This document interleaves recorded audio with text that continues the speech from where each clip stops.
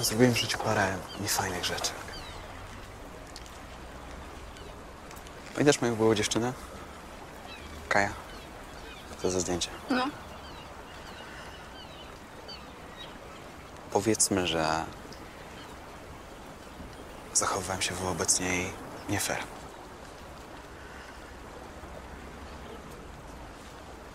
I wobec ciebie też nie byłem okej. Wiesz, tak dopiero się poznaliśmy. Ale jak to nie rozumiem? No po prostu. Nie brałem cię na poważnie, wiesz.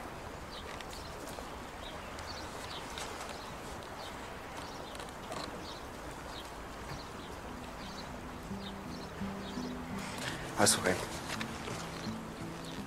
Masz coś w sobie takiego, że mnie rozbrajasz.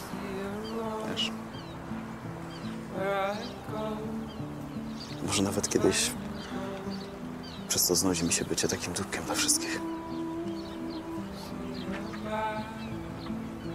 No